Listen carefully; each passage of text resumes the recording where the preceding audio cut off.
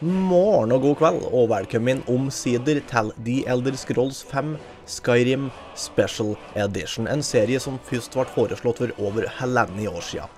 Og det var på ingen måte det at jeg ikke ville spille det. som Hvis du har hengt på kanalen en stund, så vet du jo det at ting kan ta litt tid.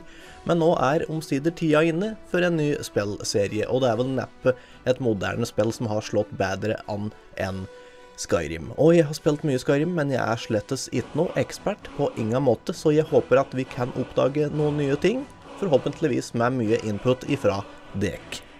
Og da er vi i gang, ikke verst. Jeg bare antar at de fleste av dere har vært borti spillet før, så jeg, så jeg bare prater litt under introen. Det handler jo da hovedsakelig om borgerkrigen i Skyrim, som ligger i Tamriel.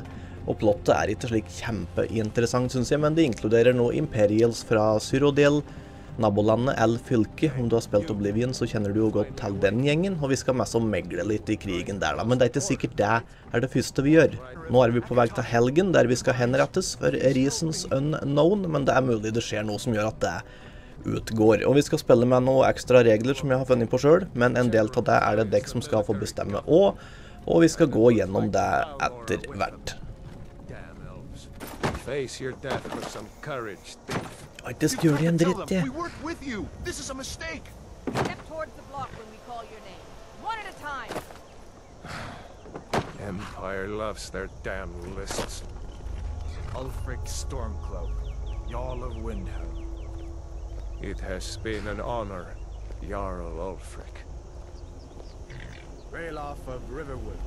of Rorikstead. No, I'm not a rebel. You can't do this.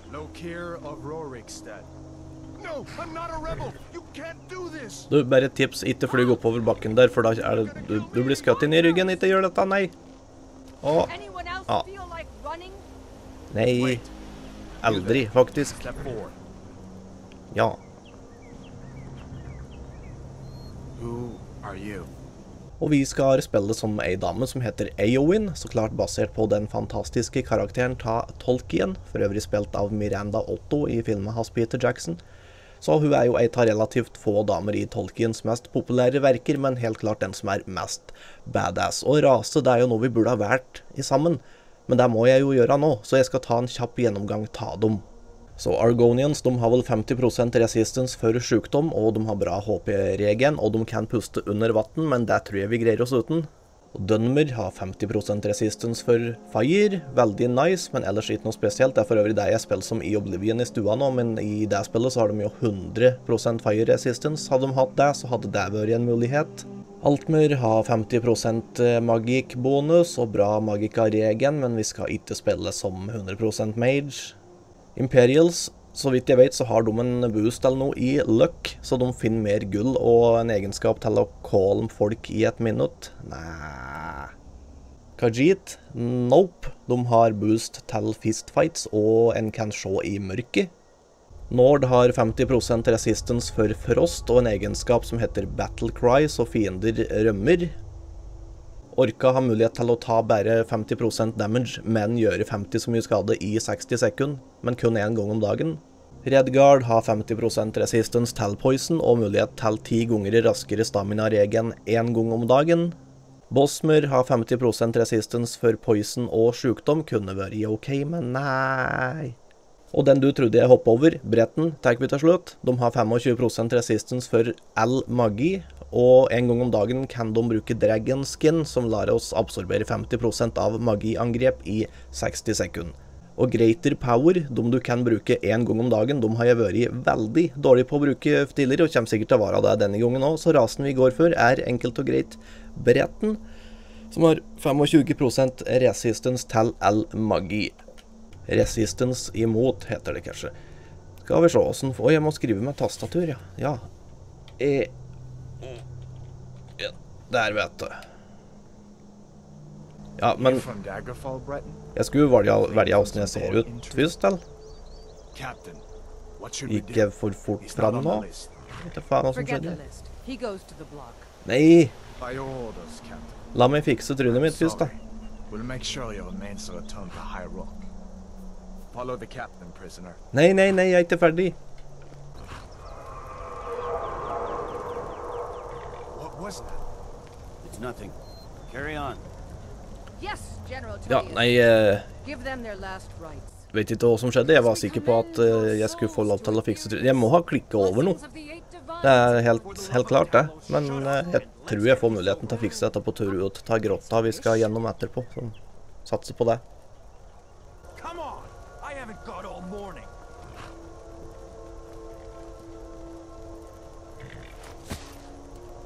My ancestors are smiling at me, Imperials.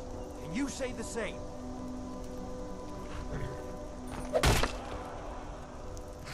Den Jeg er ikke sikkert jeg hadde helt rett i alle disse egenskapene jeg leste opp på folk på raser i stad, men jeg tenker 25% magi resistance, det må da funke ganske greit. My, mye ta, my, my ta magikk, magi i Skyrim.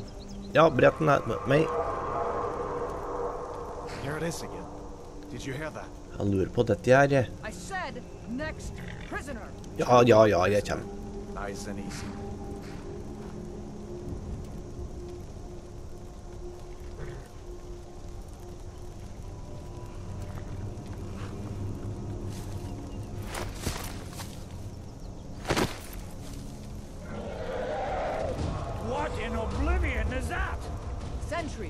What do you see?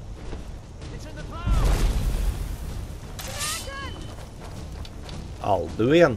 Morn.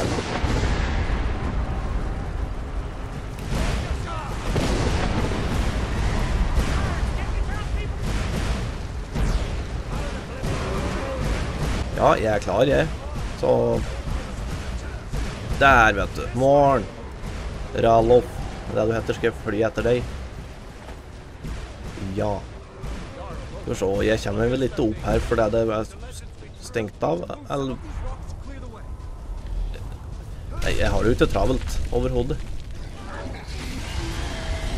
Så jeg får ikke gjort så mye, eller fortalt så mye av regler og slik mens jeg driver her, så jeg får bare prøve å komme, meg gjennom denne delen uten å kukke for mye rundt. Å, heia! Og keep going, tror jeg han sa. Og ja, jeg har jo map-marker og alt som er. Morn. Tullius, sa du het. Boy, you're doing great. Det var litt tidlig, kanskje. Jo! Jogufén, da. Har ikke slik i Hedmark, for å si det slik. Gunnar, take care of the boy. I have to find General Tullius and join the defense. God's guide. Det var ikke du som var Tullius, nei, jeg tenkte meg det. Eh, ja, det er ikke så fordømt mye å gjøre her, enn igjen å bare vente på Hannom. Alduin, ja. Jeg sier ofte veldig feil. Hender, hender rett som det er at jeg kaller henne for Anduin. Det er jo en av de største elvene som går gjennom Midgard sant, i, i Tolkiens verker. Det tror jeg kan bli recurring theme. Gikk dette bra? eller hva faen som skjedde der? Jeg skrek nedi jorda. Klart jeg går videre, jeg.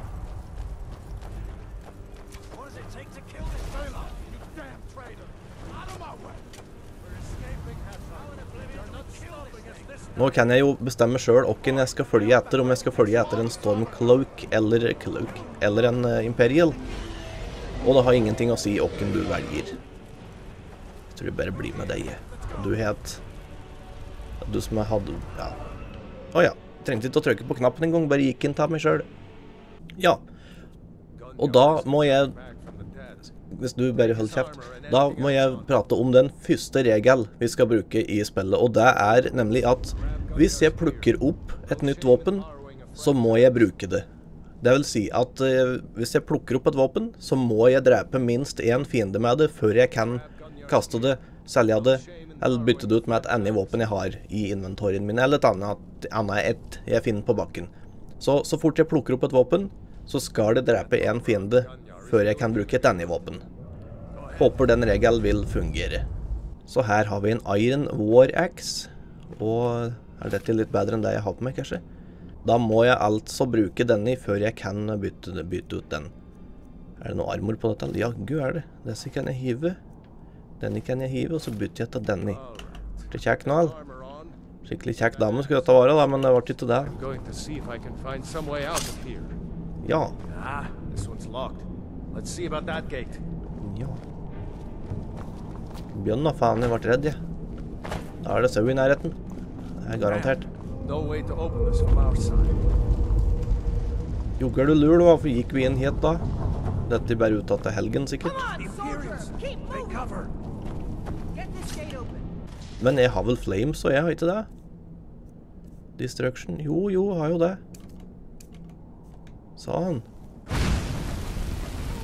Ja, jeg, jeg er ikke sikker på hva slags vanskelighetsgrad vi er på nå, men jeg tenk, tenkte at denne første episoden skulle jeg spille på novice, bare så vi kom oss av gale. Og det så ut som det var òg. Så hvis jeg nå luter deg, og så ser jeg Å, dette sverdet har jeg lyst på. Hvis jeg hadde tid det sverdet, så måtte jeg da ha drept en fiende. Det er ikke så jævlig komplisert. Jeg ville bare gjenta det en gang til, men dere har vel skjønt Skjønt greia? Here we are. Found a key.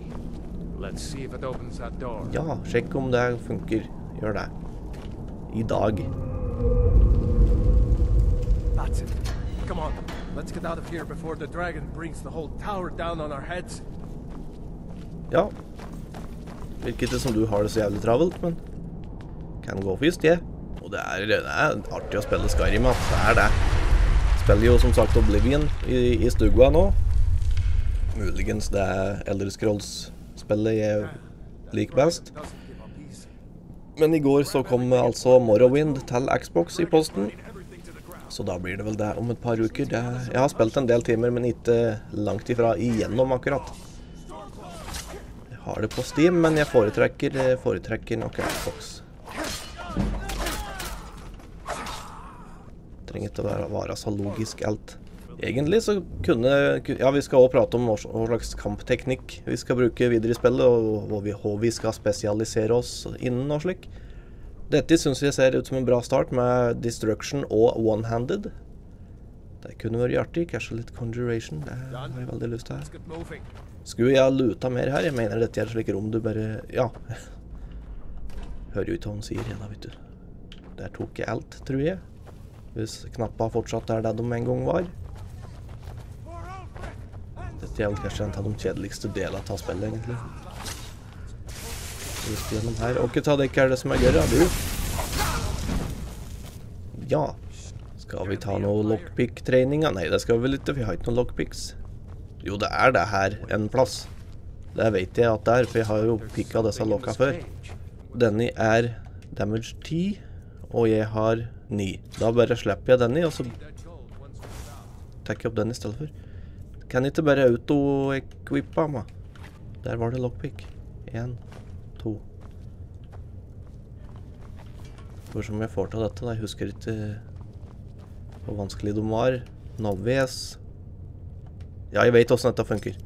Der var den. Skikkelig antiklimatisk. Hva slags bok er dette? Sparks? Sparkbok? Skal vi se, har jeg lyst til å Det er jo null armor, da, men det er jo Tja, de har jo vært litt Jeg kan jo i det, i det minste selge dem. Regel gjelder ikke for klær. At jeg må ta på meg klær jeg finner, liksom. Faen, idiot. Åssen fikk jeg så mye lockpicks, da? Trodde jeg plukket opp to. Og bare ta på denne her, og da bare for moro skyld. Sånn.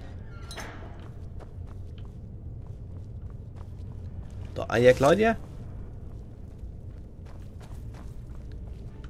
Skal jeg gidde å Nei, jeg tror ikke jeg gidder å låse opp alle disse dørene bare for, for å få XP. Ikke noe hast, dama. Ah, morgen. Nei. Går det an å speede opp dette? Er det blir til han Kuken ennå? Står han fortsatt oppi her og venter på Er det noe jeg ikke har gjort? Du, kom igjen, da.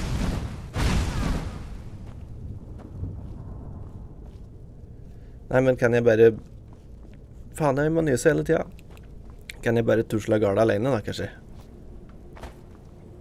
Så får han gjøre som han vil. Ja. Dette er nok ikke helt riktig, men vi prøver. Hjelper ikke å bare stå oppi der hvis målet er å esk... I'm not waiting to be killed by a dragon. We need to fall back. Just give the general some time. Ja, stemmer. Det er en archer borti her, tror jeg. Det var det ikke, men Eller jo, kanskje han borti der. Men eh, Hvor blir det av folka mine her nå? Er det ikke noe olje du står oppi? Morgen. Nei, kom, kom litt nærmere heller. Oh, shit. Uh, ja, satser på at dette går på et vis. Jo, litt. Boks- Bokstavelig talt, si.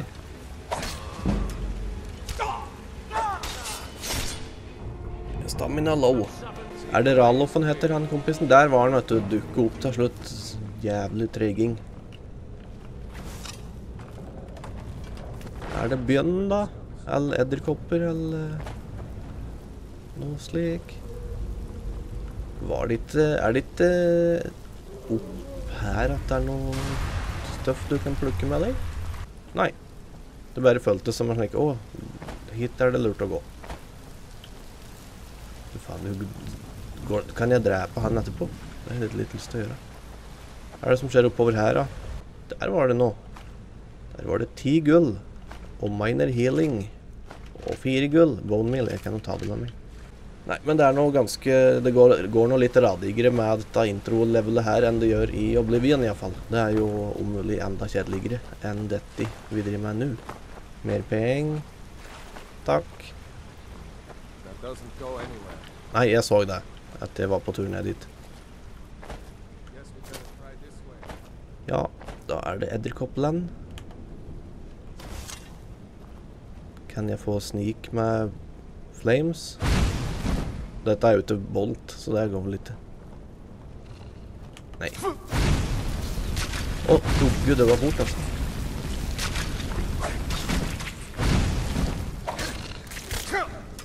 Å nei, ble jeg forgiftet? Å nei, å nei. Hverdagsundergang. Gang. Ah, er det noe vits å ta med seg noe Venom, da? Bare for å Ja, what? Ja, den kan jeg i hvert fall ta med. Jogge skal jeg kjente dritten ut av den, da. Hold up! There's a bear just ahead. See her? I'd rather not tangle with her right now. Let's try to sneak by. Just take it nice and slow. And watch where you step. Or if you're feeling lucky, OK, så da fikk jeg buet ta han. Ja, da fikk jeg jo et våpen, da. Da får jeg jo faen meg nesten bare bruke det. Enten jeg vil eller ikke. Follow your lead and watch your back. Ja. Eh? Det var, ja, det var et skudd der, så var han rød. Jogge skummelt, da. Ja, jeg kan nå plukke med meg litt dritt. Oi sann. Tok jeg litt damage Ta en, en hodeskalle, faktisk. Jogge er det ikke noe tvil om at det er Bethesda, i hvert fall. Det er bra at vi vet det. Fysikkobjekter som bare dreper deg uten grunn. Kom da, Torbulju Er det noe heter noe? Ralof. Ja. Tett vær.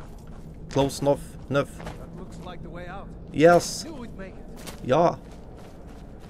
Å, sweet utgang. Nice. Og mektig syn. Like. Å, du tror det? But this place is going to be swarming with Imperials soon enough. We better clear out of here. My sister, Gerda, runs the mill in Riverwood, just up the road. I'm sure she'd help you out. It's probably best if we split up. Good luck. I wouldn't have made it without your help today. Likeså, takk skal du ha. OK. Jeg fikk visst ikke fikse på trynet mitt, da, slik som jeg hadde planer om. Men eh, sånn det ser ut nå ja, Kjekk dame, dette, er ikke det? Jeg har jo spilt litt med Khajiit og Argonian i Oblivion. Ikke så veldig mye Skyrim, men jeg liker lik liksom å rollespille som folk du kan se ut som. Litt mer realistisk. Ja, faen, fuck it. I hvert fall. Spille som katte eller firfisle, det funker liksom litt dårlig, da. Da kan vi jo prøve å sette kursen mot Riverwood mens vi prater om noen nye regler. Morgen. Er du på revjakt? Tenkte meg det, ja. Jo, så den ene nye regelen er jo så klart at plukker vi opp et våpen, så skal det drepes en fiende med det før vi kan fjerne det. Og så har vi vanskelighetsgrada i spillet. Det er novice, apprentice, adept, expert, master og legendary. Og vi begynner på novice, tror jeg, men i majoriteten av kommentarer, eller altså majoriteten av kommentarene deres, er det som bestemmer hva vi skal spille på slags eh, vanskelighetsgrad videre. Så da tar vi en opptelling av kommentarer i episode 1, altså denne her. Og det dere skriver, er det det blir. Bortsett ifra Legendary. Det er ikke lov å stemme Legendary. Det får dere ikke lov til. Adept er vel det som er basic normal vanskelighetsgrad, og det er vel det jeg spiller på. Det eller lettere jeg pleier å spille på. For jeg syns ikke at spillet blir bedre jo vanskeligere det er, med bare mer tanky fiender og kamper som tar lang tid. Jeg syns det blir heller mindre interessant. Er greit nok Å, joggu sleit jeg skulle drepe en skikkelig gørr drage, og jeg hadde så lite potions og gems og dritt. Jeg vil bare ha det artig. Jeg har ikke lyst til å bruke kvarter på å drepe ting. Eh, Dere ser kanskje at det er en anelse grønnere her enn det pleier å være. Nå er jeg litt usikker på om dette var et godt eksempel. Men jeg har installert noen mods. Ingen som har noe å si for storyen og eh, gameplay generelt, bare visuelle ting. Men vi kan prate litt om det seinere. Og vi kom hit omtrent samtidig, ja. One of your comrades? Not the comrade yet. Friend. Let's split up. OK, la oss møtes rett nedi veien her. Is there somewhere we can talk? There's no telling when the news from Helgen will reach the Imperials. Helgen? Has something happened? Bla, bla, bla. Men eh, ja, angående vanskelighetsgrad, så er det jo meningen at vi skal spille dette her en stund og ha det artig. Så heller eh, Heller spille på litt enklere vanskelighetsgrad. Det er som, det er som dere vil. Det er dere som bestemmer. Jeg har jo spilt Skyrim veldig mye. Jeg har alle achievements på både 360 og på Xbox One. Men uh, ekspert? Nei, det er jeg ikke. Er det jeg, er det jeg driver med nå, egentlig? New to Riverwood? If you're looking for work, go see Hod at the mill. Jeg er ikke på utkikk etter noe arbeid her, egentlig. Så nei, jeg har ikke noe jeg har lyst til å si til deg. Hush, Frodnar. This is no time for your games. Go and watch the south road. Frodnar? Å Come ja, det er du, if ja. you see any Imperial soldiers coming. Ja, men jeg skal tale med deg, liksom. Har du noen noe supplies jeg kan ta? Litt prat i kjeften på meg. Of course. Here's the key to the house. Stay as long as you like. If there's anything else you need, just let me know. OK, tusen takk. What's this all about? What are you doing? Det har ikke du noe med Oi. Take gift. Å ja. Ametyst. Ah. Brød. Ah. Uh, holdt på å si brunost. Gud. ah. Det ser ut som vi tar Å, nå så jeg ikke om det var noe våpen der, men jeg tror ikke det var det. Nei, det var ikke det. vel. Nei, det var det ikke, for ellers måtte jeg brukt det. Kan jeg bare gå fra dere, da? eller? Dette bryr jeg meg så fint lite om. Nei, Talas. En av modsa er i hvert fall mer planter og slik. Liksom denne buska der som dukker opp på litt ulogiske plasser av og til. Ikke akkurat der, men noen ganger så gjør den det. Nå tenker jeg det at vi går til uh, Whiterun. Ja. Questmarkeren min vil ikke at jeg skal gå til Whiterun. Er det, er det den vil for noe? Talk to Gerdur. Igjen. Ja. OK. Faen om vi folk det var her, da. Well A done. fine du vil. Jo, det er ikke enda, kanskje. It's my mill. Some folks thinks it's my town too, but it ain't. The Jarl in Whiterun owns the land and the town. I just pay the taxes. Hurra! Kan jeg handle her eh, noen and by supplies, I suppose you mean weapons and armor? Nei, jeg tenkte mer can Lamborghini you heroin. He's our blacksmith. Der, vet du. All right then.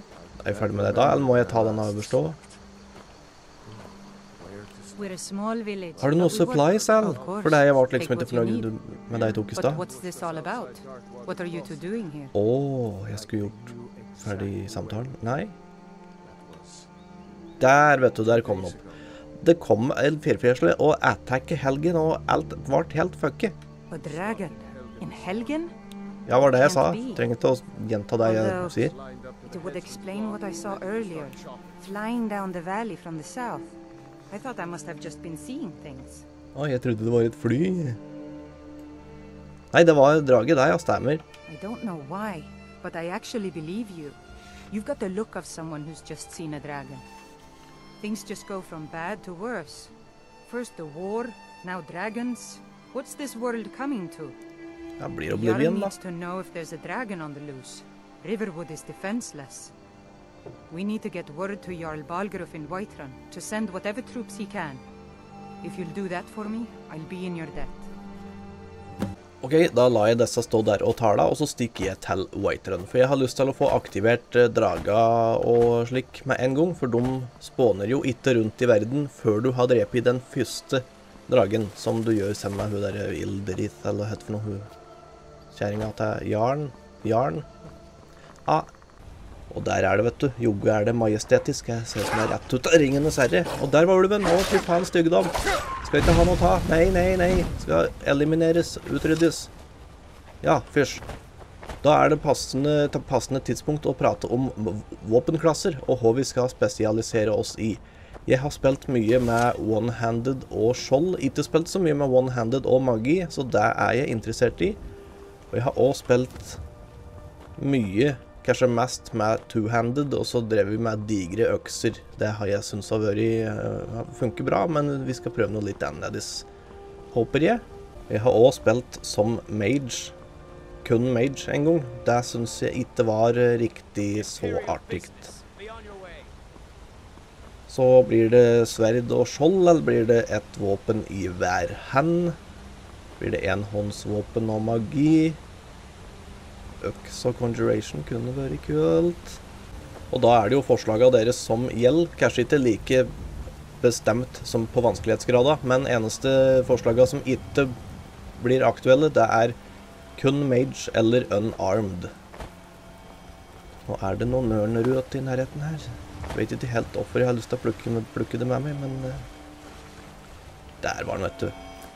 Så regla på våpen og klasser slik, det blir nok en kombinasjon av deres forslag og mine ønsker. Det jeg tenker, er ei øks og destruction og conjuration og er restoration egen klasse, eller går det under noe annet? Hm, husker ikke jeg nå, men i hvert fall noe slikt noe er det jeg kunne tenkt meg da. Skillhør og farm. Vet ikke hvorfor jeg ikke bare går direkte dit jeg skal. Prøve det, kanskje.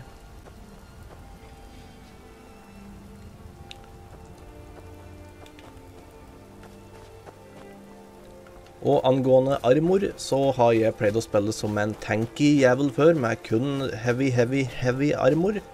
Der blir det slutt på. Null heavy armor. Ja, jeg sier det, og så får jeg sjekke hva jeg har på meg, for nå ble jeg litt i tvil. Light, light, light, light. Jeg skal ikke ha noe heavy armor, men jeg kan enchante dritten ut ta alt ta armor ellers. Så da er det klart. Der var det jaggu meg en ørn til der. Og lavender. Apropos lavender, nå skal jeg ta meg en ass. Og da har du fått et stikkord. Lavender. Og hva slags snus tror du jeg skal snøse? Riktig, det var en slik en. Nei ja, det er Göteborg Strapé. Og den er knallgod, altså. Dette er jo litt pinlig, men nå bare Nå går jeg nå bare rundt White Run, for jeg er ikke helt sikker på hvor inngangen er hen. Burde ikke være så jævlig vanskelig når du kommer fra Riverwood, men eh, ja. En annen ting vi vil prate om, er stjeling. Er det OK, eller er det ikke det? Person, personlig så stjeler jeg jo som bare det i spillet, i Skyrim. Både pickpocketer og stjeler fra safer og alt som er. Det er jo ikke noe karmasystem her, slik som det er i Fallout, så det har jo liksom ikke noe å si. Jeg tenker det at det går an å være litt cheeky og utnytte ting til sin fordel. Og om det ellers er noen andre regler dekk vil se, så kom med forslag, så får vi se hva det blir. For det kunne vært artig å spille det på en litt annen måte, og at dekk er inkludert. Morn. Ja, joggu offisiell jeg, da. Jeg har njøs. Slipp meg inn. Jeg tror alle kan uh, få til den persuade-sjekken der. Da får vi se om denne ene modden min funker, som heter Open Cities. Ikke noe loadesone mellom verdenen og byen. Dette er nice, og det gjør alt mye mer realistisk, so to speak. Ja. Og er det denne moden heter for noe, da? Autumn in Whiterun, eller noe slikt? Det er kanskje litt mye. Litt, litt for attgrodd, men nei, nei, men jeg syns det funker. Jeg syns det er skikkelig koselig. Slik som denne. Denne kunne jeg fjerne. Denne, denne gror ut i veien. Det er ikke noe særlig. Brigands I can handle. Men ja, nei, faen, dette er koselig. Kjempekoselig. Dette er jo eh, special edition på Steam. Hvis jeg ikke sa det. Det ser pent ut. Jeg spiller jo da med en tekstur eh, Bare slik basic som har gått over alt. Tekst, jeg har skrevet ned modsa. Jo, her står det faktisk Autumn of Whiterun. Det er den dere ser her. Og så er det Open Cities, som dere så i stad. Og så er det Skyland, bedre teksturer på alt, og David's Trees, noen slike einer som vokser i veggen. Da skal vi inn i Dragons Reach. Hei. Nei. Sorry, det var frekt av meg. Beklager. Ja, hei du. Of Iri- Jo. Jeg har nyheter fra Helgen. Well, that explains why the guards let you in.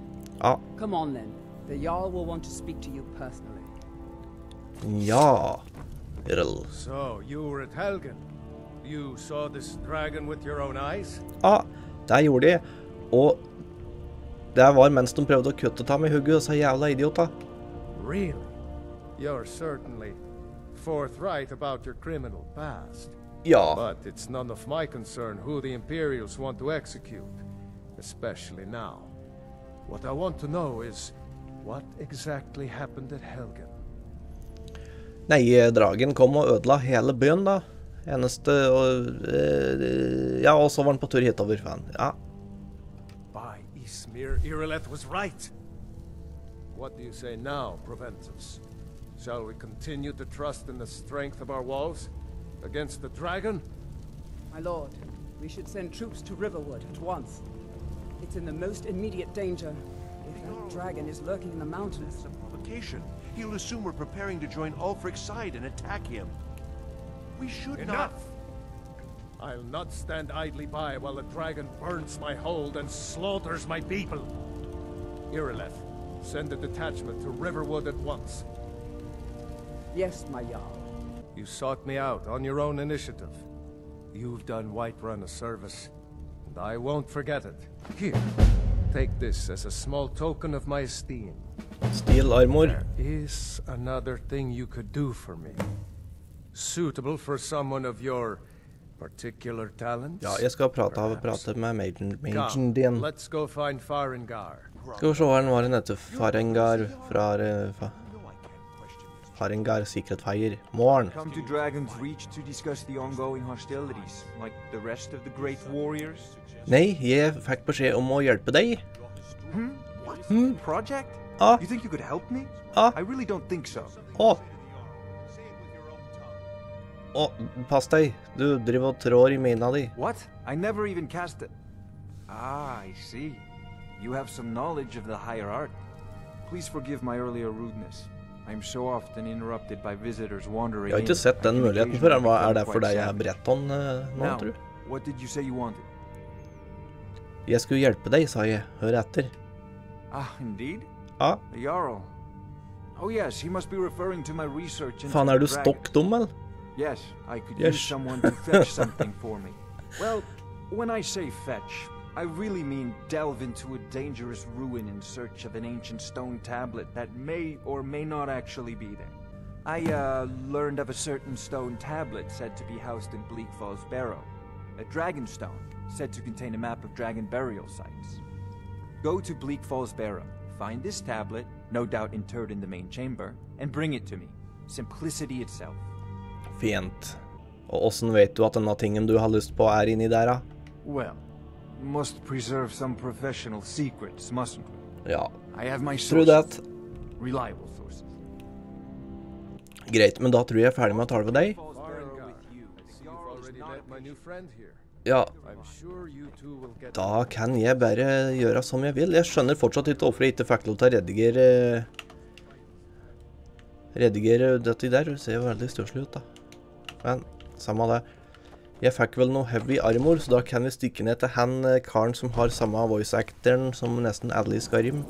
Husker ikke hva butikken hans eller hva han heter for noe, men Bellathor var det. Everything's for sale, my friend. Everything. If I had a sister, I'd sell her in a second. Ja. Denne armoren jeg fikk, som må være heavy. Denne, ja. Bort med den. Hmm. Kommer jeg til å bruke dette? Nei, men de veier så lite at jeg tar dem bare med meg. Har du noe jeg skulle hatt, da, tru? Faen, jeg må jo nisse hele tida. Denne har jeg lyst på, men den var dyr. Så jeg tror vi prøver oss uten jeg. Du come back. Ja, skal gjøre det. Da kan vi vel egentlig bare pelle oss til Bleak Falls Barrowat, da. Jeg har vel rett noe mer på papiret vi skulle ha tala om òg. Om jeg ikke husker helt feil. Og dette er så nice, og jeg glemmer vet du, at, eh, at det ikke er load zone. At det bare er å peise på. Det er skikkelig artig. En i regel jeg hadde vurdert, var no bows. Altså ikke lov å skjøte med pil og bue. Har sett en som har spilt med den regel, og da er du i hvert fall tvunget til å spille det på en helt annen måte enn du har vært vant til før. Men jeg er veldig, veldig glad i bueskyting i Skyrim, så jeg følte at det var litt ekstremt å fjerne den muligheten. Så det, der får du ikke lov til å stemme på engang, for det buer blir det. Disse høye buskene, lurer på om de er nye. Skal vi ta en Var det en elg som bare daua akkurat!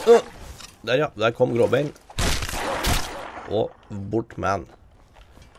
Da er det vel dette som er eh, Watchtower som vi skal ned til etterpå, da, for å drepe draget. Men jeg syns denne waypointen min Er det dette her for noe? Dette er slags kar? Ork? Eller er det bare skalle? Morn, hvem er du? You speak to a vigilant of Stendar. Å, jaså. Cavort with any Daedra, and we will hunt you down. Ja, men da gjør jeg ikke det enda. Men denne waypointen min peker ikke den feil vei. Nei, jeg, jeg trodde jeg gikk ned nedi her hjemme. Men jeg tror ikke jeg kommer meg opp her. Håper det, for jeg har ikke veldig lyst til å gå til Riverwood, og så gidder jeg ikke å fast travel. Så da prøver jeg heller bare å komme meg bent opp her. Med mindre det er noen giants, men det tror jeg var østover. Ja, det var noe mer ulv her i hvert fall. Stikk. Jo, det var her det var Giants, ja. Riktig. Prøv å ikke bli sendt til himmels av denne, da. Har du noe jeg kan lute her, forresten? Han kommer meg i det hele tatt opp. Jeg ble litt usikker. Det, altså, I, i Bethesda-spill så er det jo mulig å komme seg opp, som regel overalt. Men dette så bratt ut. Så jeg lurer på om jeg skal bare pelle meg, pelle meg rundt til Riverwood likevel. Ja, men det er noe så pent, pent å se på fint spill dette her. Her går det en sti, vet du. Så da gjør det ikke noe. Ja, da løste det seg. Og vi skal jo følge reglene som vi har listet opp så godt som mulig. Men om jeg skulle fucke opp og glemme å bruke et våpen jeg akkurat har plukket opp, eller noe slikt, så er det ikke slik at jeg restarter spillet. Vi skal bare ha det artig, forhåpentligvis. Og der var det en ulv til. Og ulv er faen ikke artig, altså. Faen styggedom. Vekk med deg først. Og to veldig populære questlines i Skyrim er jo Thieves Guild og Dark Brotherhood, som alle liker. Nesten alle liker. Jeg liker dem veldig godt, men jeg har spilt dem hver eneste gang jeg har spilt Skyrim, og jeg lurer på om det ikke er det jeg vil begynne med nå. Så øh, vi kan, for min del, så kan vi godt ta Thieves Guild og Dark Brotherhood øh, ganske, ganske nærme slutten. Det er ikke noe jeg vil gjøre med det første, iallfall. Da er vi nesten framme etter Black Falls Barrow. Bleak Falls. Sorry, my bad. Men hvis det er eh, noen andre quester eller questliner du vil se, så må du gjerne si ifra. For da kan det hende vi ryker på noe som jeg ikke har vært borti. Det, det kunne vært artig. Nå er det folk på tur. Eller det er vel jeg som er på tur, da. Morn! Ja, jeg, jeg har ikke stilt inn noe vanskelighetsgrad, men dette så jo veldig, veldig greit ut. Åssen skal regelen være på piler, da? Er det slik at hvis jeg plukker opp ei pil, så, så må jeg bruke den? Nei. Jeg tror det må være bua som er greia, og ikke pila. Åssen bue var det jeg fikk av han eh, karen i stad? Det var en longbow, så da er det greit. Destruction er artig, altså. Dette er jo Dette er tohånds, så det vil ikke jeg ha. Det er vel et par flere folk her. Morn. Ja da, jeg ser deg. Burn, baby. Ah. Da må jeg ta fram bua, da, for å huske det. Så jeg ikke fucker opp disse reglene mine med en eneste gang. Står det en kar der? Eller ei dame? Død. Og du har ikke sett meg. Hvis du står rolig en stund Faen, ikke stå ikke, Nei, stå rolig. Stå rolig. Ikke flytt deg. Der, vet du. Der gikk det opp noen levels òg. Sikkert sneak. Ikke noe spesielt på dem. Kan vi komme oss inn i her, mon tro? Ja da. Og der oppi, der oppi var det 73 gull og po po potion of minor magica, og vi har level opp for første gang. Da er det vel egentlig bare å gjøre det. Ingen grunn til å vente. OK. Hva skal vi begynne med her? Jeg tror kanskje stamina, for det jeg er glad i å flyge overalt. Og power attacks er fint, så det er, det er, jo så jævlig frustrerende når du skal flyge langt, og så får du ikke fløyet langt, langt fordi du blir sliten. Stamina. Og så kommer det ordentlige spørsmålet. Dette virker kanskje som et litt snodig valg til å begynne med, for jeg har jo ikke noe conjure at the moment. Men jeg har lyst til å drive med det senere, for jeg har ikke gjort noe av det. Så vi begynner med å sette første perk point i Novice Conjuration. Ja, men det, jeg håper det blir litt mer spennende videoer, for det, disse videoene er litt spesielle for meg. For jeg vet jo at det er bare en brøkdel av dekk som ser på dem, og det gjør meg slettes ingenting. For det, da, da, kan liksom vi bli litt bedre kjent, og det blir litt mer intimt, for å si det slik. Og vi kan prate om litt andre ting om snus, og, og jeg kan få forslag til ting jeg kan gjøre i spillet og slike ting, og det kan bli bedre kjent og bære bra. So far, ikke noe spesielt. Jeg tror første fienden inni her er uh, han karen som blir skutt av piler. Hvis jeg ikke husker feil. Der er han, vet du. Da kan jeg øve litt på snik imens.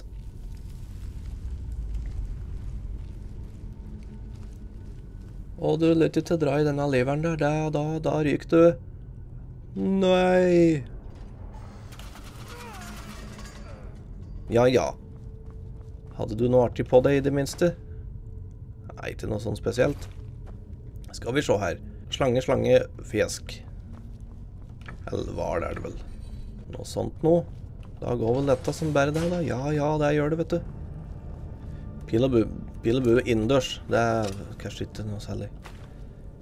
Og her har vi skill-bok. Der ser jeg på verdien. Nice. Og litt gull. Og kanskje litt mer. Nei, men en lesser. Da tror jeg ikke det var noe mer å drive med oppi der. Der var det skriver. Møss. Diger møss. Skikkelig møss. Disse er jo ikke noe big deal i det hele tatt. Det eneste er vel at du kan vel få noe sjukdom. Ikke brainrot eller annet. Det vil vi jo helst unngå. Morgen. Sa du bjørn? Kom seg inn her, da. Morn! Wounded var du òg. Dette er jo piece of cake. Å, jeg har ikke mer magikk her. Stemmer. Sånn. Ja, jeg kommer snart. Jeg skal bare sjekke om Ja, det kan plukke med meg litt gift, det. Jeg skal få deg ned om et lite øyeblikk. Jeg skal bare få opp igjen magikanen min. Er det du vil, da? You did it. You killed it. Now cut me down before anything else shows up. Å, hva er det du vil for noe? Hvor er kloa, som vi ikke har pratet om? Yes, the claw. I know how it works. The claw, the markings, the door in the Hall of Stories. I know how they all fit together. Help me down and I'll show you. You Oh. won't believe the power the Nords have hidden there. Meg kloa først, da. Does it look like I can move? You have to cut me down first. OK, da. Jeg skal hjelpe deg. Sånn. Han hadde kommet til å stikke av, så derfor gjorde jeg bare slik. Og der var kloa. Gidder jeg å lese denne? Nei, det gjør jeg ikke. Var det ikke det jeg akkurat gjorde, det som står der nå? Der, ja. Find the secret of Bleak Falls Barrow. Det var sikkert det det sto noe om i boka hans, da. Er det da Ja, da er det Drauger som er neste. Denne ser ut som hun har tenkt å stå opp etter hvert, så da kan vi jo prøve å få inn en snikkrett på den. Fy faen. Der var den. Er det noen flere? Denne så livlig ut. Faen, da. Kan du sette deg der? Jeg hører flere. Og nå var det ei felle som gikk av borti her. Jeg så et skjold som leser. Morn! Og der var det Jeg tror han der gikk over denne fella uten å dø. Åssen i svarte greide det, for den er jo livsfarlig. Det var godt gjort. Der har vi en. Morn. Kanskje jeg skal gå litt nærmere. Kanskje en fordel. Klask i hugget på deg. Jeg husker ikke hva som var Secret of Bleak Falls Jo, det husker jeg. Det er et ord. Blant annet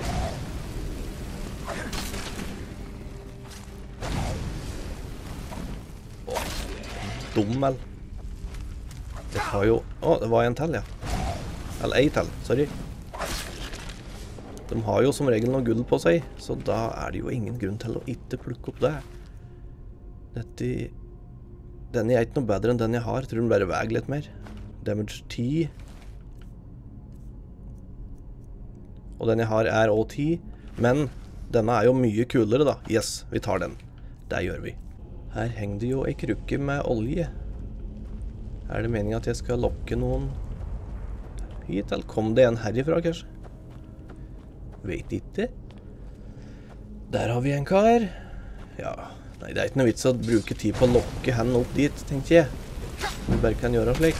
Jeg har som sagt spilt veldig lite med Conjuration, så hvis noen kan fortelle meg hvor jeg får tak i noe gode, gode ting der, så setter jeg veldig stor pris på det. Har jo lyst på Dremora Lords og Storm Atronac og like ting. Dette Ja, nei, det sluttet å brenne der, ja. Nice. Å, jo, Guttav. Jo, Guttav. Hvis du ikke hadde gjort dette, så hadde du kanskje fått inn et slag men nei da. Der var det folk. Eller folk og folk. Har vel vært i folk en gang. Nå er det bare beef jerky. Eller ha gull. Og her har vi gull. Ja, jeg skulle ned bekken, ja. Stemmer. Utrolig hvor lite ta denne dungeon her jeg egentlig husker. Men det er jo greit, det. Får jeg oppleve noe nytt. Ikke, ikke nytt, per se, men kan jeg plukke denne der?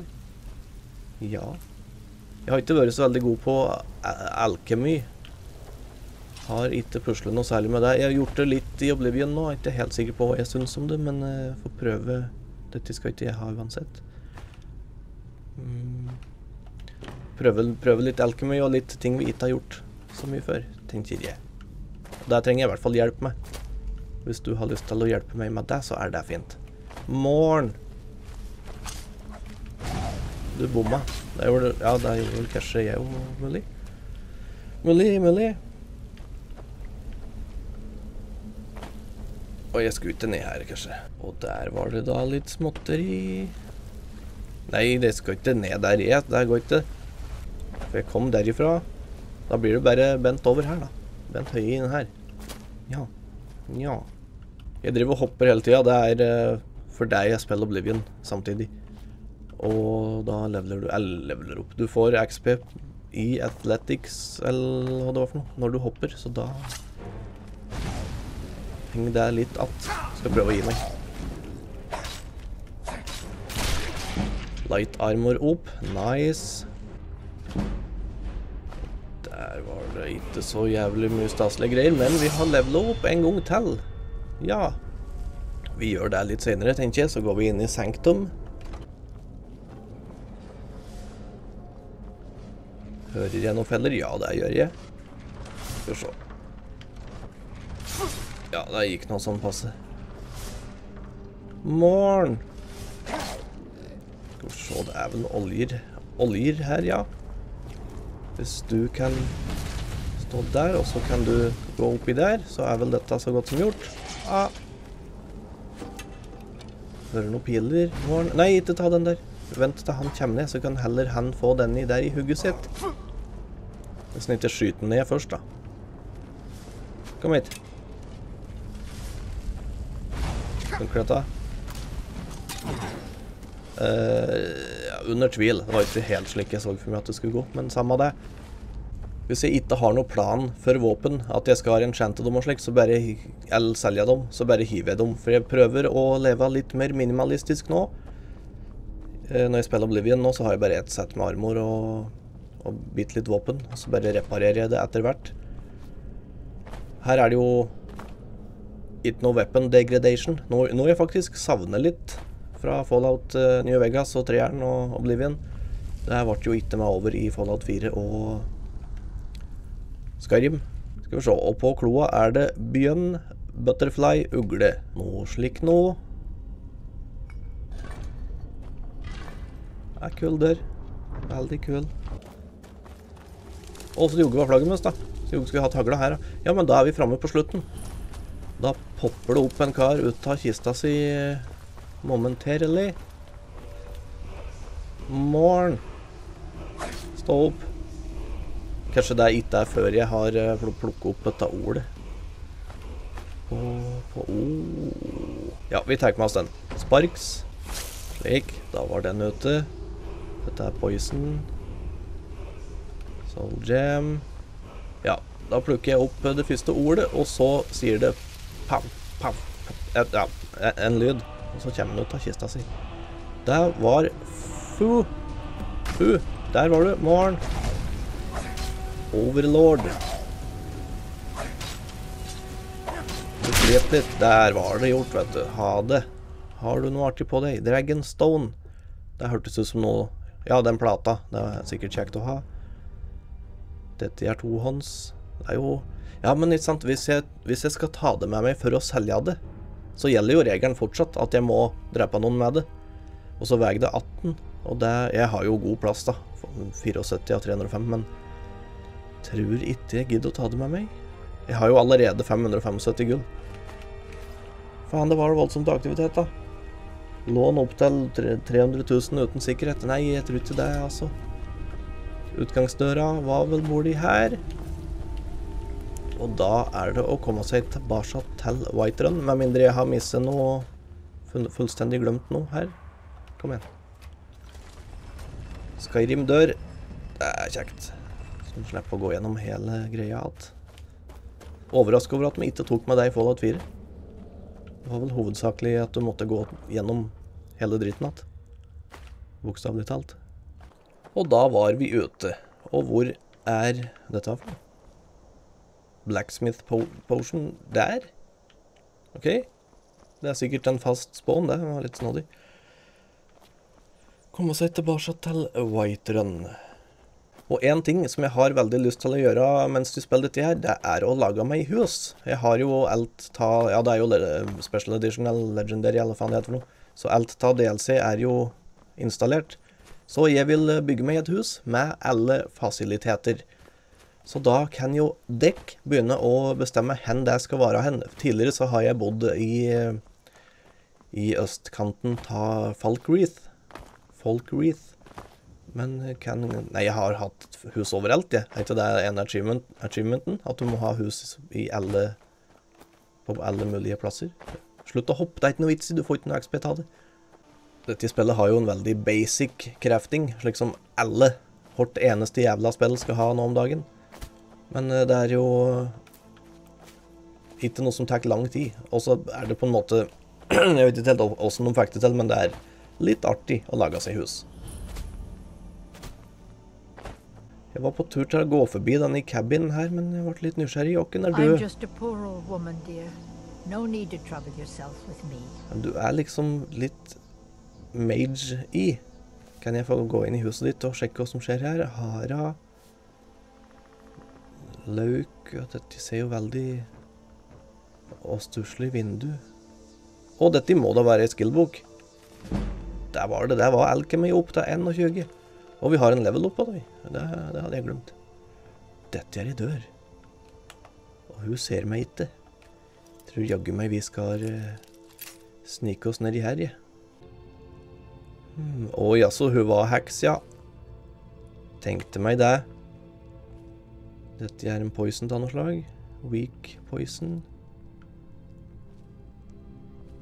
Bone meal. A- letter. Anisletter. Ja, så dette er hekseri på gang. Det skal ikke jeg blende meg bort i. Enchanting. Dette er det så lenge siden jeg har gjort, og jeg er så dårlig på det. Ja, jeg må lære meg hva å disenchant, ja. Stemmer. Dette tror jeg vi skal se på senere, for dette blir nok en lang episode Lang nok episode som det er. Nei, men da har jeg vært på besøk her. Da stikker jeg ut igjen. Å! Å, hun, hun likte ikke dette, gitt. Hun likte slett å sitte at jeg hadde vært nede i kjelleren natta. Og hun bruker conjuration nå. Fikk tak i seg en ulv.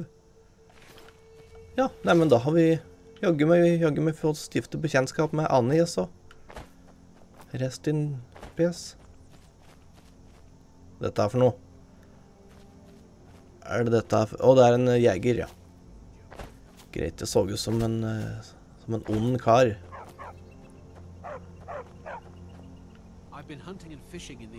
Jeg begynte å lure på om dette var håret ditt. Det så jævlig lyst ut. Nei, det, er godt tatt. Gå videre. Og så har jeg begynt å spille inn med et uh, nytt program nå. Nå bruker jeg noe som heter Action. Brukte OBS fram til nå, men jeg var liksom ikke helt fornøyd med frameraten på det og slike ting, så da tenkte jeg prøve noe nytt. Så en stor, stor takk til Jonas, som basically har vært min konsulent når det kommer til eh, all things teknisk. Mange takk for det. Og han har òg en eh, kanal på YouTuben som heter Spillpolitiet, som du gjerne må sjekke ut mye solid og artig innhold der, altså. Så takk, Jonas, for all hjelp, og, og mer skal det bli. Så mens vi tusler tilbake til Nei, vent litt nå. Jeg skulle tusle til Whiterun, men det er jo noen standing stones nedi her, så jeg lurer på om vi skal tusle dit og plukke opp noen fordeler like gjerne. Men mens vi tusler dit, da, så kan jo jeg spørre dekk på slags ting Dekk, faen, er greit å prate. Så lenge du ser på denne videoen her, så vil jeg anta at du kanskje ser på spillvideoer på YouTube fra før. Og da lurer jeg på, hva er det du ser på? For eh, jeg begynte å se på spillvideoer i 2013.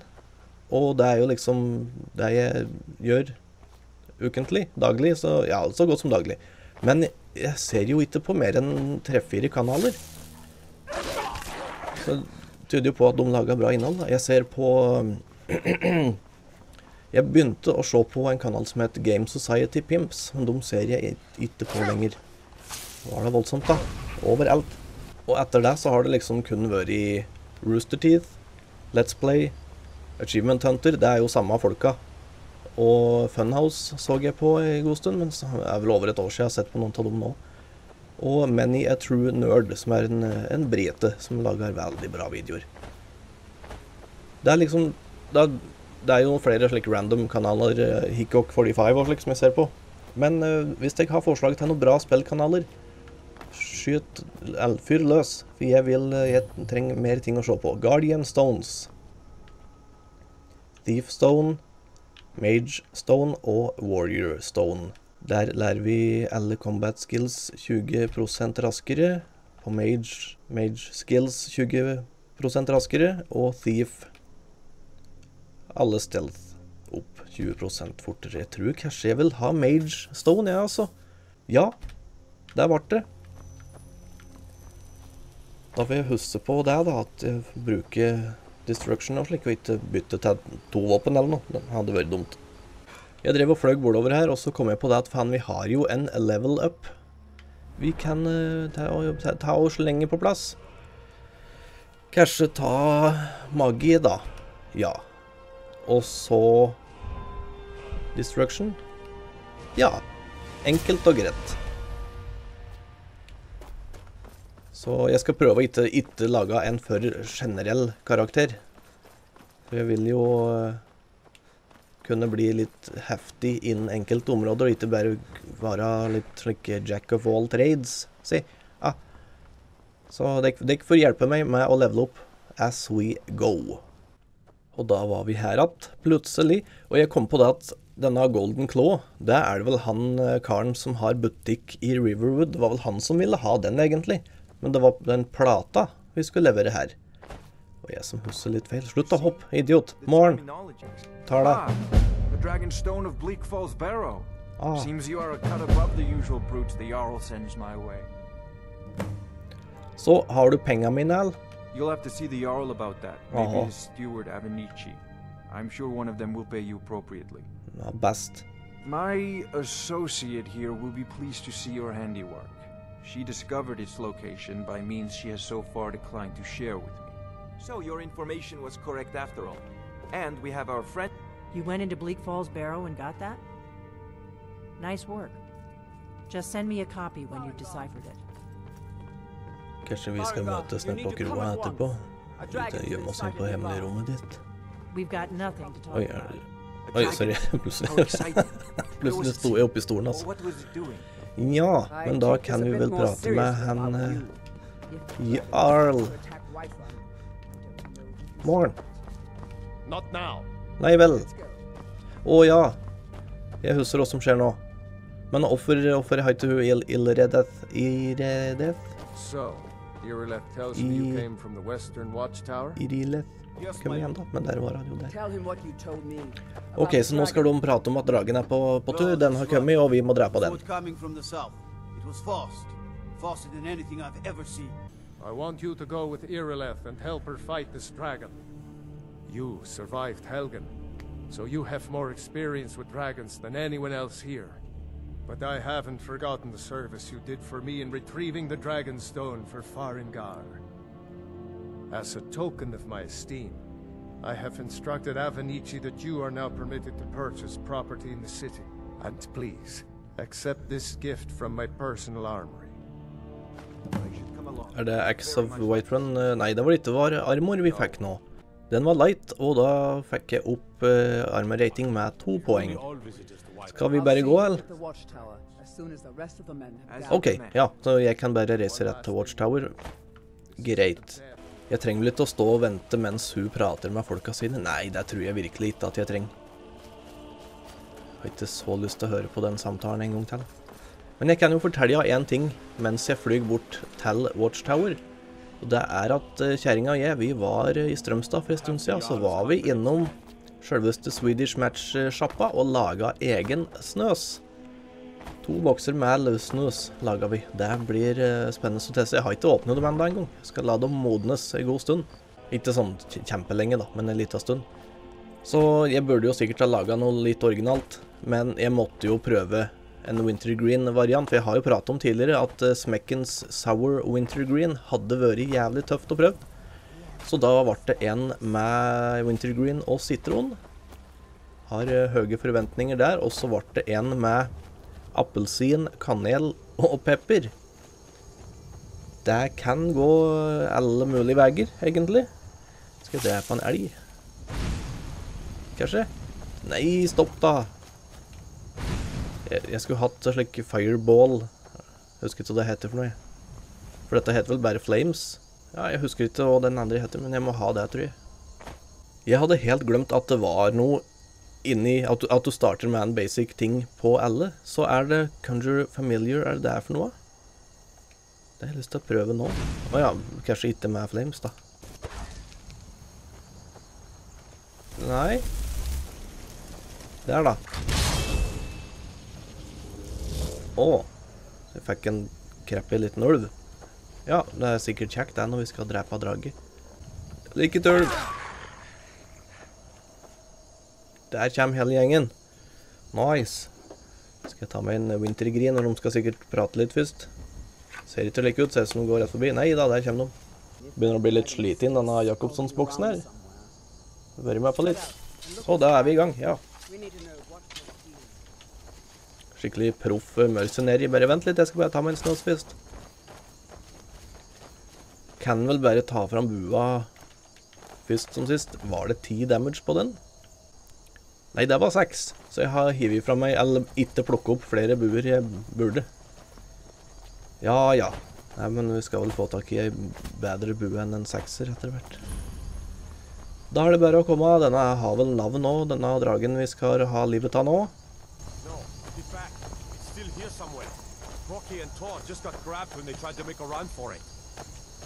Loke, var det det du mente? Quickly now! Det er ikke så jævlig mye jeg får gjort den i første gangen her. Der hører jeg en er på tur. Hvor er du hen, da? Der er den. Dette så litt skummelt ut, faktisk. Morgen. Mirmulnir. Murmeldyr. Hvis du Hvis du bare lander, du, så skal jeg Ja.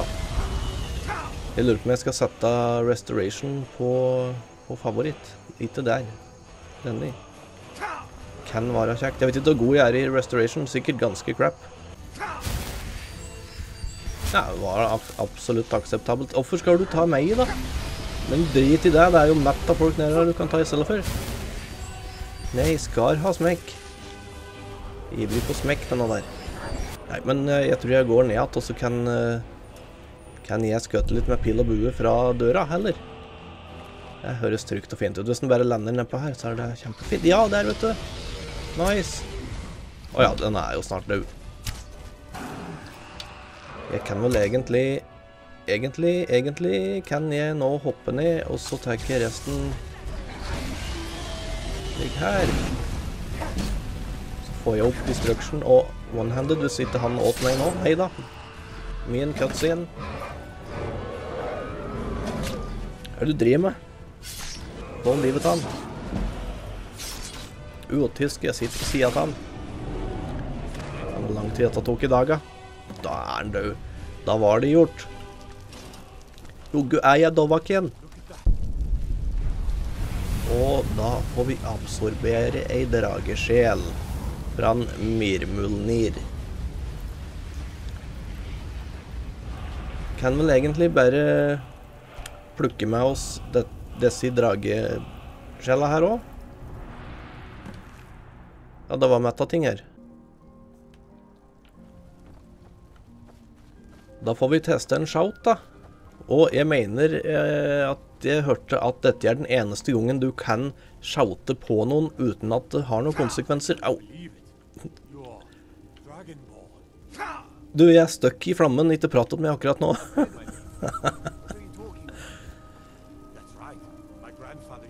Så da bare shouter jeg på hele gjengen. Skal jeg prate mer med deg, kanskje? Hvis jeg finner ut av er. Der, ja. Ja, Nei, det er ikke noe mer, eh, mer å gjøre her. Da skal vi vel tilbake til eh, Jarl Balgruf, eller hva han heter for noe. Da tror jeg rett og slett jeg tar en liten fast travel. Får ikke lov til å ha fast travel til Dragons Reach denne gangen. Greit. Visst faen. Det er helt riktig. Ja, der roper de på meg, vet du. Da var Keen, Greybeards, fra oppå Ja, jeg husker ikke hva fjellet het. jævla Nedafor Throat of the World, i hvert fall. Første gangen jeg spilte dette, så gikk det meg hus forbi, dette ropet der. Jeg tror de burde ha gjort det litt mer opplagt. Det er mulig det bare var jeg som var dum, men eh, Nei, jeg fikk det ikke med meg iallfall. Jeg har nyheter, herre. Der var den, og Watchtower, det er ødelagt. Men dragen er død. I knew I could count on Irileth. But there must be more to it than that. Ja, det er, det er mulig jeg er Dragonborn eller noe slikt. Dragonborn? What do you know about the Dragonborn? Nei, De kalte meg dra Dragonborn hele gjengen, og så da dragen da døde, da, så plutselig bare Plutselig så bare saug igjen. So it's Al- true. The Greybeards really were summoning you. Ja, jeg bare spiller med, jeg. Hæ? Masters of the way of the voice. They live in seclusion high on the slopes of the throat of the world. Hva vil de med meg, da? The Dragonborn is said to be uniquely gifted in the voice. The ability to focus your vital essence into a thum or shout. If you really are Dragonborn, they can teach you how to use your gift. You heard the summons. What else could it mean? The Greybeards. Didn't you hear the thundering sound as you returned to Whiterun? That was the voice of the Greybeards, summoning you to High Hrothgar. High Hrothgar var det det het. Centuries, at least. Not since Tiber Septim himself was summoned when he was still Talos of Atmora. Rungar, calm yourself. What does any of this Nord nonsense have to do with our friend here? Capable as he may be, I don't see any signs of him being this, what, Dragonborn. Lord, announce that. Det var Dragonborn. Ignorant. These are our sacred traditions that go back to the founding of the First Empire. Frongar, don't be so hard on Avenici. I meant no disrespect, of course. It's just that, what do these Greybeards want with him? Who? That's the Greybeards' business, not ours. Through that. Whatever happened when you killed that dragon, it revealed something in you, and the Greybeards heard it. If they think you're Dragonborn, who are we to argue? You'd better get up to High Hrothgar immediately. There's no refusing the summons of the Greybeards. It's a tremendous honor. I envy you, you know, to climb the 7,000 steps again. I made the pilgrimage once. Did you know that? Nay. High Hrothgar is a very peaceful place. Very disconnected from the troubles of this world. I wonder that the Greybeards even notice what's going on down here. They haven't seemed to care before. No matter. Apropos Go care, blir Hrothgar. Learn what the Greybeards can teach you. You've done a great service for me and my city, Dragonborn. Ja, kjempemye har jeg gjort, right tenk. as Jarl, I name you Thane of Whiterun. Thane Smekk. It's the greatest honor that's within my power to grant. Takk. Mange I takk for det. Tusen takk. Lydia as a personal housecarl, and this weapon from my armory to serve as your badge of office.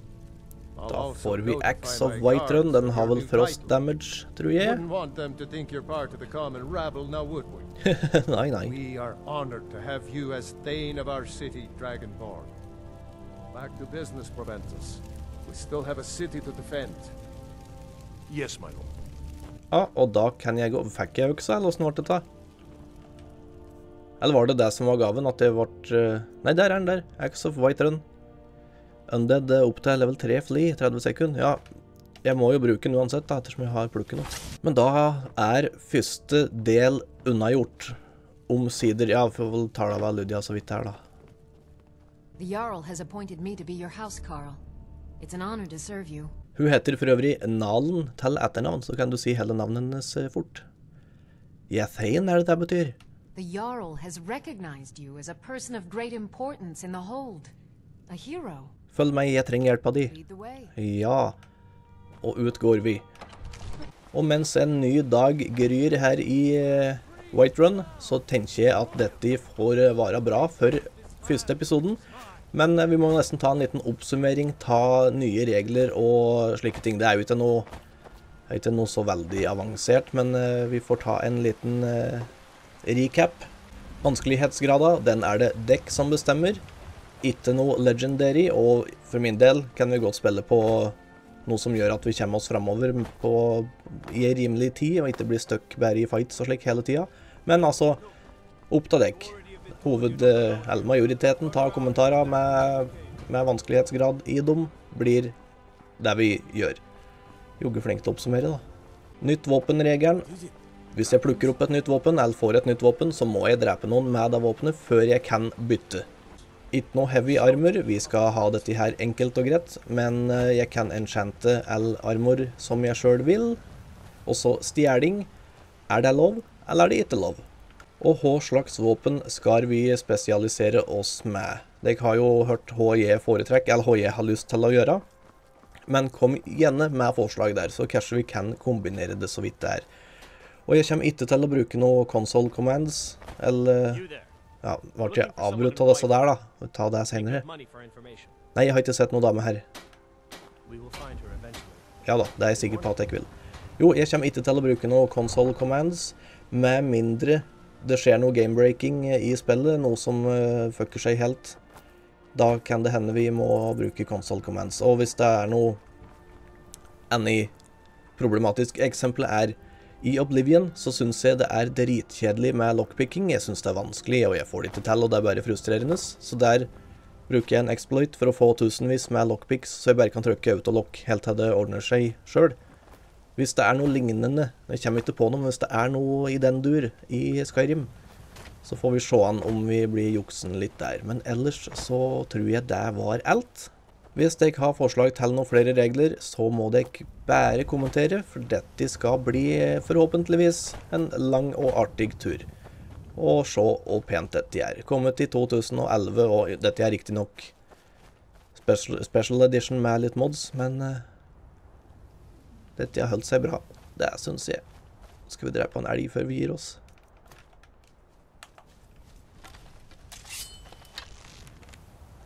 Bye! Jogge sniper. Jogge er flink archer, vet du.